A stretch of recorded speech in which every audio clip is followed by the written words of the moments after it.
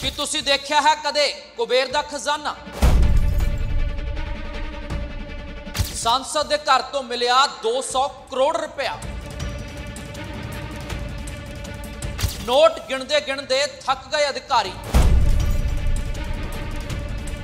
Note ਗਿਣਨ ਵਾਲੀਆਂ ਮਸ਼ੀਨਾਂ ਵੀ ਹੋਈਆਂ ਖਰਾਬ। ਨੋਟਾਂ ਦੇ ਬੰਡਲਾਂ ਨਾਲ ਭਰੀਆਂ ਮਿਲੀਆਂ 9 ਅਲਮਾਰੀਆਂ। ਟਰੱਕ ਭਰ ਭਰ ਕੇ ਲੈ ਕੇ ਜਾਣੇ ਪਏ ਨੋਟ। ਪੂਰੀ ਗਿਣਤੀ ਕਰਨ ਨੂੰ ਹਾਲੇ ਵੀ ਲੱਗ ਸਕਦੇ ਨੇ ਹੋਰ 2 ਦਿਨ। ਬਹੁਤ ਵਾਰ ਕੁਬੇਰ ਦੇ ਖਜ਼ਾਨੇ ਦਾ ਜ਼ਿਕਰ ਹੁੰਦਾ ਹੈ, ਪਰ ਸ਼ਾਇਦ ਅੱਜ ਤੱਕ ਕਿਸੇ ਨੇ ਕੁਬੇਰ ਦਾ ਖਜ਼ਾਨਾ ਦੇਖਿਆ ਨਹੀਂ ਹੋਵੇਗਾ, ਪਰ ਤੁਹਾਨੂੰ ਜਿਹੜੀਆਂ ਤਸਵੀਰਾਂ ਅਸੀਂ ਦਿਖਾ ਰਹੇ ਹਾਂ, ਉਹ ਕਿਸੇ ਕੁਬੇਰ ਦੇ ਖਜ਼ਾਨੇ ਤੋਂ ਘੱਟ ਨਹੀਂ, ਕਿਉਂਕਿ ਨੋਟਾਂ ਦੇ ਬੰਡਲ ਇੰਨੇ ਨੇ ਕਿ ਤੁਸੀਂ ਹੈਰਾਨ ਰਹਿ ਜਾਓਗੇ। ਤੇ ਅੱਜ ਤੱਕ ਦੀ ਭਾਰਤ ਦੀ ਸਭ ਤੋਂ ਵੱਡੀ ਰਿਕਵਰੀ ਜਿਹੜੀ ਆ, ਉਹ ਮੰਨੀ ਜਾ ਰਹੀ ਹੈ। 200 ਕਰੋੜ ਤੋਂ ਵੀ ਵਧੇਰੇ ਇੱਕ ਸੰਸਦ ਦੇ ਟਿਕਾਣਿਆਂ ਤੋਂ ਮਿਲੇ ਨੇ।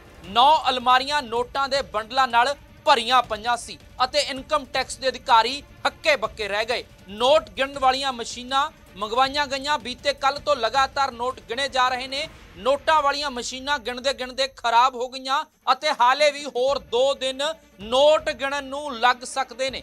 ਤਾਂ ਦੱਸ ਦਈਏ ਕਿ ਕਾਂਗਰਸ ਦੇ ਸੰਸਦ ਨੇ, ਜਿਨ੍ਹਾਂ ਦੇ ਘਰ ਤੋਂ ਇਹ ਸਾਰਾ ਰੁਪਇਆ ਮਿਲਿਆ ਹੈ ਤੇ ਪ੍ਰਧਾਨ ਮੰਤਰੀ ਨਰਿੰਦਰ ਮੋਦੀ ਨੇ ਵੀ ਇਸ ਦੀ ਪੋਸਟ ਸ਼ੇਅਰ ਕੀਤੀ ਹੈ। ਤਾਂ ਦੱਸ ਦਈਏ ਕਿ ਕਾਂਗਰਸ ਦੇ ਰਾਜ ਸਭਾ ਸੰਸਦ ਧੀਰਜ ਸਾਹੂ ਦੇ ਟਿਕਾਣਿਆਂ ਤੋਂ ਇਹ ਨੋਟ ਮਿਲੇ ਨੇ। ਝਾਰਖੰਡ, ਉੜੀਸਾ ਤੇ ਪੱਛਮੀ ਬੰਗਾਲ ਦੇ ਵਿੱਚ 10 ਟਿਕਾਣਿਆਂ ਤੇ ਛਾਪੇਮਾਰੀ ਹੋਈ ਹੈ। ਇਨਕਮ ਟੈਕਸ ਵਿਭਾਗ ਦੇ ਵੱਲੋਂ 200 ਕਰੋੜ ਰੁਪਏ ਤੋਂ ਵੀ ਵਧੇਰੇ ਬਰਾਮਦ ਕਰ ਲਏ ਗਏ ਨੇ। ਹਾਲਾਂਕਿ ਪੂਰੀ ਗਿਣਤੀ ਹੋਣ ਨੂੰ ਹਾਲੇ 2 ਦਿਨ ਹੋਰ ਲੱਗ ਸਕਦੇ ਨੇ ਅਤੇ ਸਹੀ ਅੰਕੜਾ ਗਿਣਤੀ ਪੂਰੀ ਹੋਣ ਤੋਂ ਬਾਅਦ ਹੀ ਪਤਾ ਲੱਗੇਗਾ।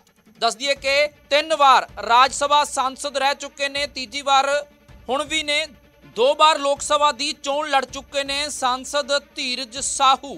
ਨੋਟ ਇੰਨੇ ਸਨ ਕਿ 157 ਬੈਗਾਂ ਦੇ ਵਿੱਚ ਭਰ ਕੇ ਟਰੱਕਾਂ ਦੇ ਵਿੱਚ ਰੁਪਏ ਬੈਂਕ ਲੈ ਕੇ ਜਾਣੇ ਪਏ ਅਤੇ ਜਦੋਂ ਬੈਗ ਖਤਮ ਹੋ ਗਏ ਤਾਂ ਨੋਟਾਂ ਦੇ ਬੰਡਲਾਂ ਨੂੰ ਬੋਰੀਆਂ ਦੇ ਵਿੱਚ ਭਰ ਕੇ ਲਿਜਾਇਆ ਗਿਆ ਅਤੇ ਇਸ ਦੀ ਗਿਣਤੀ ਨੂੰ ਹਾਲੇ ਵੀ ਹੋਰ 2 ਦਿਨ ਲੱਗ ਸਕਦੇ ਨੇ। ਦੱਸ ਦਈਏ ਕਿ ਕਾਂਗਰਸ ਦੇ ਸਾਂਸਦ ਧੀਰਜ ਸਾਹੂ, ਉਦਯੋਗਪਤੀ ਨੇ ਤੇ ਉਹਨਾਂ ਦੇ ਰਿਸ਼ਤੇਦਾਰਾਂ ਦਾ ਸ਼ਰਾਬ ਦਾ ਕਾਰੋਬਾਰ ਹੈ। ਦੱਸਿਆ ਇਹ ਜਾ ਰਿਹਾ ਹੈ ਕਿ ਧੀਰਜ ਸਾਹੂ ਦੇ ਟਿਕਾਣਿਆਂ ਤੋਂ 9 ਅਲਮਾਰੀਆਂ ਪੈਸਿਆਂ ਨਾਲ ਭਰੀਆਂ ਮਿਲੀਆਂ ਨੇ, ਜੋ 200 ਕਰੋੜ ਤੋਂ ਜ਼ਿਆਦਾ ਦੀ ਨਕਦੀ ਦੱਸੀ ਜਾ ਰਹੀ ਹੈ ਹਾਲਾਂਕਿ ਗਿਣਤੀ ਹਾਲੇ ਜਾਰੀ ਹੈ ਤੇ ਗਿਣਤੀ ਦਾ ਸਹੀ ਅੰਕੜਾ ਗਿਣਤੀ ਪੂਰੀ ਹੋਣ ਤੋਂ ਬਾਅਦ ਹੀ ਲੱਗ ਸਕਦਾ ਹੈ 500 200 ਅਤੇ 100 ਰੁਪਏ ਦੇ ਨੋਟਾਂ ਦੀਆਂ ਤੱਥੀਆਂ 9 ਅਲਮਾਰੀਆਂ ਦੇ ਵਿੱਚ ਭਰ ਕੇ ਰੱਖੀਆਂ ਹੋਈਆਂ ਸੀ। ਇਨਕਮ ਟੈਕਸ ਦੀ ਝਾਰਖੰਡ ਓਡੀਸ਼ਾ ਬੰਗਾਲ ਦੀ ਸਭ ਤੋਂ ਵੱਡੀ ਰਿਕਵਰੀ ਇਸ ਨੂੰ ਮੰਨਿਆ ਜਾ ਸਕਦਾ ਹੈ।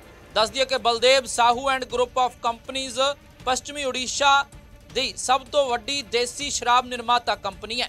ਉਧਰ ਪ੍ਰਧਾਨ ਮੰਤਰੀ ਨਰਿੰਦਰ ਮੋਦੀ ਨੇ ਵੀ ਇਸ ਛਾਪੇਮਾਰੀ ਦੀ ਖਬਰ ਨੂੰ ਸੋਸ਼ਲ ਮੀਡੀਆ ਤੇ ਪੋਸਟ ਕੀਤਾ ਹੈ ਅਤੇ ਲਿਖਿਆ ਹੈ ਕਿ ਦੇਸ਼ ਵਾਸੀ ਇਹਨਾਂ ਨੋਟਾਂ ਦੇ ਢੇਰਾਂ ਨੂੰ ਦੇਖ ਲੈਣ ਅਤੇ ਫਿਰ ਇਹਨਾਂ ਨੇਤਾਵਾਂ ਨੂੰ ਵੀ ਤੇ ਇਹਨਾਂ ਦੀ ਇਮਾਨਦਾਰੀ ਦੇ ਭਾਸ਼ਣਾਂ ਨੂੰ ਵੀ ਸੁਣ ਲੈਣ। ਜਨਤਾ ਨੂੰ ਜਿਵੇਂ ਲੁੱਟਿਆ ਹੈ, ਉਸ ਦੀ ਪਾਈ ਪਾਈ ਵਾਪਸ ਮੋੜਨੀ ਪਵੇਗੀ। ਇਹ ਮੋਦੀ ਦੀ ਗਾਰੰਟੀ ਹੈ। ਤਾਂ ਤਸਵੀਰਾਂ ਹੈਰਾਨ ਕਰਨ ਵਾਲੀਆਂ ਨੇ ਕਿ ਜਿਸ ਸੰਸਦ ਦੇ ਵੱਲੋਂ 2018 ਚ ਆਪਣੀ ਜਾਇਦਾਦ 34 ਕਰੋੜ ਰੁਪਏ ਦੱਸੀ ਗਈ ਸੀ, ਉਹ 2023 ਦੇ ਵਿੱਚ 200 ਕਰੋੜ ਕਿਵੇਂ ਹੋ ਗਈ ਤੇ ਉਸ ਦੇ ਘਰ ਤੋਂ 200 ਕਰੋੜ ਰੁਪਏ ਉਸ ਦੇ ਟਿਕਾਣਿਆਂ ਤੋਂ ਕਿਵੇਂ ਮਿਲ ਗਏ? ਤਾਂ ਜਵਾਬ ਜਿਹੜਾ ਹੈ, ਉਹ ਜ਼ਰੂਰ ਦੇਣਾ ਪਵੇਗਾ, ਪਰ ਇਹ ਵੱਡੀ ਰਿਕਵਰੀ ਹੈ। 200 ਕਰੋੜ ਰੁਪਇਆ ਨੌ ਅਲਮਾਰੀਆਂ ਦੇ ਵਿੱਚ ਭਰਿਆ ਹੋਇਆ ਸੀ, ਟਰੱਕਾਂ ਦੇ ਵਿੱਚ ਲੈ ਕੇ ਜਾਣਾ ਪਿਆ। ਬੋਰਿਆਂ ਦੇ ਵਿੱਚ ਭਰ ਕੇ ਲੈ ਕੇ ਜਾਣਾ ਪਿਆ। ਨੋਟ ਗਿਣਦੇ ਗਿਣਦੇ ਅਧਿਕਾਰੀ ਥੱਕ ਗਏ ਤੇ ਪੂਰੇ 48 ਘੰਟੇ ਬੀਤ ਚੁੱਕੇ ਨੇ। ਲਗਾਤਾਰ ਗਿਣਤੀ ਕੀਤੀ ਜਾ ਰਹੀ ਹੈ। ਹਾਲੇ 2 ਦਿਨ ਹੋਰ ਲੱਗ ਸਕਦੇ ਨੇ। ਗਿਣਤੀ ਪੂਰੀ ਹੋਣ ਨੂੰ ਨੋਟ ਇੰਨੇ ਜ਼ਿਆਦਾ ਨੇ, ਨੋਟਾਂ ਦੀਆਂ ਮਸ਼ੀਨਾਂ ਤੱਕ ਖਰਾਬ ਹੋ ਗਈਆਂ ਨੇ। ਸ਼ਾਇਦ ਤੁਸੀਂ ਵੀ ਕਦੇ ਇੰਨੇ ਇਕੱਠੇ ਨੋਟ ਨਹੀਂ ਦੇਖੇ ਹੋਣੇ। 200 ਕਰੋੜ ਰੁਪਇਆ ਤੋਂ ਵੀ ਵਧੇਰੇ ਨੋਟਾਂ ਦੇ ਬੰਡਲ 9 ਅਲਮਾਰੀਆਂ ਦੇ ਵਿੱਚ ਲੁਕਾ ਕੇ ਰੱਖੇ ਹੋਏ ਸੀ। ਇਨਕਮ ਟੈਕਸ ਵਿਭਾਗ ਦੇ ਵੱਲੋਂ ਰੇਡ ਕੀਤੀ ਗਈ, ਤਾਂ ਉਹਨਾਂ ਦੇ ਅਧਿਕਾਰੀ ਵੀ ਹੱਕੇ ਬੱਕੇ ਰਹਿ ਗਏ।